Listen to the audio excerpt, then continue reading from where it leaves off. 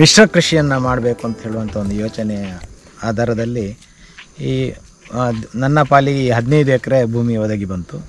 ಇಲ್ಲಿ ಭಾಳಷ್ಟು ಯೋಚನೆಗಳನ್ನು ಮಾಡಿ, ಬಹಳಷ್ಟು ನನ್ನ ಪರಿಚಯಸ್ಥರೊಂದಿಗೆ ಮತ್ತು ಕೃಷಿಯಲ್ಲಿ ಉತ್ತಮ ಸಾಧನೆ ಮಾಡಿದವರ ಜೊತೆಗೆ ಅವರೊತ್ತಿಗೆ ಚರ್ಚಿಸಿ ಯಾವ ಥರ ಮಾಡ್ಬೋದು ಅಂತ ಹೇಳುವ ಒಂದು ಒಂದು ಯೋಚನೆಯನ್ನು ಮಾಡಿ, ನನ್ನ ಒಂದು ಬೇಸಿಕ್ ಕಾನ್ಸೆಪ್ಟನ್ನು ಅವ್ರ ಮುಂದೆ ಇಟ್ಟಾಗ ಭಾಳಷ್ಟು ಮಂದಿ ಸನ್ಮಾನ್ಯ ಶ್ರೀ ಪಟ್ರೆ ಅಂಥವರು ಗುರುರಾಜ್ ಬಾಳ್ತಿಲ್ಲ ಅಂಥವರು ನನಗೆ ಬಹಳಷ್ಟು ಸಹಕಾರ ಮತ್ತು ಮಾರ್ಗದರ್ಶನವನ್ನು ಕೊಟ್ಟರು ಅಡಿ, ತೆಂಗಿನಕಾಯಿ ಇರ್ಬೋದು, ಅಡಿಕೆ ಇರ್ಬೋದು ಕೊಕ್ಕೋ ಇರ್ಬೋದು ಕಾಳುಮೆಣಸು, ಭತ್ತ, ಹಲಸು, ಇಂಥದ್ದು ಗೇರು, ಇವುಗಳೆಲ್ಲದರ ಜೊತೆಗೆ ಸುಮಾರಾಗಿ ಒಂದು ನೂರು ವಿಧದ ಬೇರೆ ಬೇರೆ ವಿದೇಶಿ ಹಣ್ಣುಗಳನ್ನು ಸಸ್ಯಗಳನ್ನು ಇಲ್ಲಿ ಹವ್ಯಾಸಕ್ಕಾಗಿ ಮತ್ತು ನನ್ನ ಒಂದು ಖುಷಿಗಾಗಿ.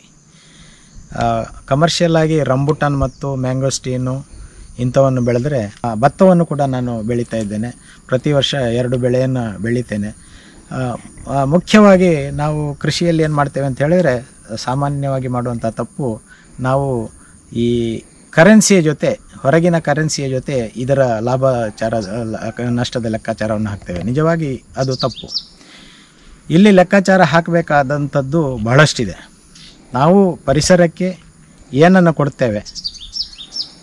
ಈ ಕೃಷಿಯ ಜೊತೆಗೆ ಇಲ್ಲಿ ನೀರನ್ನು ಇಂಗಿಸಿರು, ಇಂಗಿಸುವುದಾಗಿರ್ಬೋದು, ಅಥವಾ ಭತ್ತ ಬೆಳೆಸುವ ಮೂಲಕ ನಮ್ಮ ಮಳೆ ಬರುವಂಥ ಇದಕ್ಕೆ ಅನುಕೂಲವಾದ ವಾತಾವರಣವನ್ನು ಕಲ್ಪಿಸುವುದಿರ್ಬೋದು. ಭೂಮಿಯಲ್ಲಿ ನೀರನ್ನು ಹಿಡಿದು ನಿಲ್ಲಿಸುವಂಥ ಕಾಯಕಗಳಿರ್ಬೋದು. ಮತ್ತು ಬೇರೆ ಬೇರೆ ಪಶು, ಪಕ್ಷಿ, ಕೀಟಗಳಿಗೆ ನಾವು ಆಸರೆಯನ್ನು ಫುಡ್ ಇದರ ಚೈನ್ ಅಂತ ಹೇಳ್ತೇವೆ ನಾವು.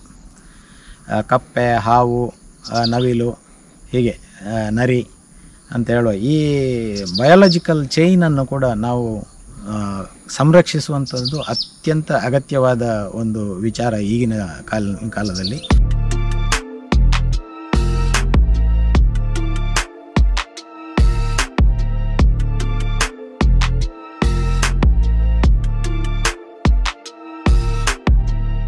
ನಾವು ನೀರಿಗಾಗಿ ಶೋಧನೆ ಮಾಡಿ ಮಾಡಿ ಕೊನೆಗೆ ಇಲ್ಲಿ ಒಂದು ಸಾರಿ ನಮಗೆ ನೀರಿನ ಸಮಸ್ಯೆ ಆದಾಗ ಸುಮಾರು ಒಂಬೈನೂರು ಅಡಿ ಆಳ ಕೊರೆದಂತಹ ಬೋರ್ವೆಲ್ ಇದು ಇದರಲ್ಲಿ ಅರ್ಧ ಇಂಚಿನಷ್ಟು ನೀರಿತ್ತು.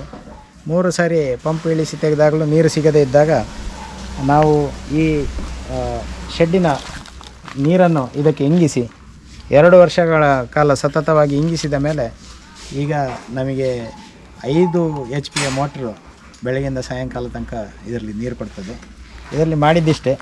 ಎಂಟಡಿ ಆಳದ ಹೊಂಡವನ್ನು ತೆಗೆದು ಅದರಲ್ಲಿ ಜಲ್ಲಿ, ಬೋಲ್ಡ್ರಸ್ಸು ಇಂಥದ್ದನ್ನು ತುಂಬಿಸಿ ಅದಕ್ಕೆ ಹೋ, ಕೇಸಿಂಗ್ ಪೈಪಿಗೆ ಹೋಲ್ ಮಾಡಿ ಅದಕ್ಕೆ ಮೆಶ್ಶು ಕಟ್ಟಿ ಅದು ನೀರನ್ನು ಫಿಲ್ಟ್ರ್ ಮಾಡಿ ಒಳಗೆ ಇಂಗಿಸುವ ವ್ಯವಸ್ಥೆ ಮಾಡಿದ್ದೇವೆ.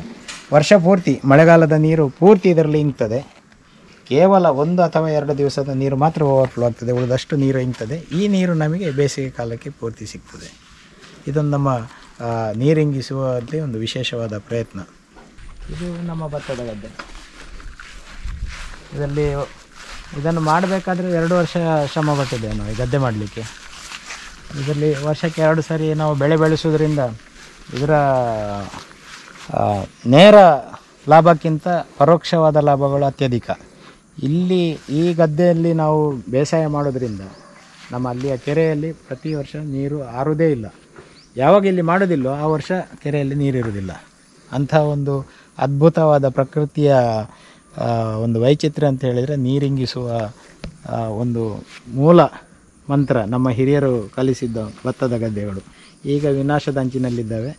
ಆದರೆ ಅದರ ಒಂದು ಸಣ್ಣ ಒಂದು ಪ್ರಾಯೋಗಿಕವಾಗಿ ನಾವು ಇಲ್ಲಿ ಒಂದು ಪ್ರಯತ್ನವನ್ನು ಮಾಡಿದ್ದೇವೆ. ಇದು ಬಹಳಷ್ಟು ಲಾಭದಾಯಕವಾದಂಥ ಒಂದು ಪ್ರಕೃತಿಗೆ ಸಹ ಪೂರಕವಾದಂಥ ಒಂದು ಬೇಸಾಯ. ಮುಂದಿನ ಪೀಳಿಗೆಯವರಿಗೆ, ಯುವ ಪೀಳಿಗೆಯವರಿಗೆ ಇದನ್ನೆಲ್ಲ ನೋಡಿ ಒಂದು ಸ್ಫೂರ್ತಿಯಾಗಲಿ. ಅವರು ಈ ಥರದ ಯಾವುದಾದ್ರೂ ಒಂದು ಕಲ್ಪನೆಯೊಂದಿಗೆ ಕೃಷಿಯನ್ನು ಮಾಡಿದರೆ, ಒಂದು ಶಿಸ್ತುಬದ್ಧ ಕೃಷಿಯನ್ನು ಮಾಡುವಂಥ ಒಂದು ಪ್ರಯತ್ನವನ್ನು ಮಾಡಿದರೆ, ಖಂಡಿತವಾಗಿ ಕೃಷಿಯಲ್ಲಿ ನಷ್ಟ ಇಲ್ಲ ಅಂತ ಹೇಳುವಂಥದ್ದನ್ನು ನಾನು ತೋರಿಸಿಕೊಡುವಂಥ ಒಂದು ಸಣ್ಣ ಪ್ರಯತ್ನ.